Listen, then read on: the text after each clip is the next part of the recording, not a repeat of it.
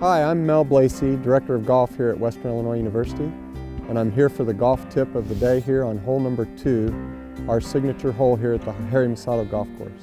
Hole number two is about a 518 yard par five, and it's one of those risk-reward type par fives. You can be a little more aggressive if you'd like. Um, you can hit a driver, but there is water on the right-hand side of the hole and out of bounds down the left-hand side. The second shot here today with the wind behind me will be more of an iron shot, a layup shot, uh, to give myself the right yardage coming into the green.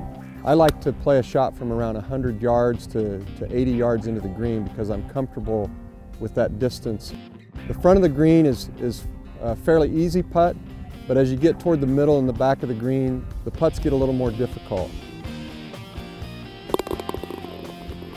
Thanks for watching Golf Tips at the Harry Mussatto Golf Course.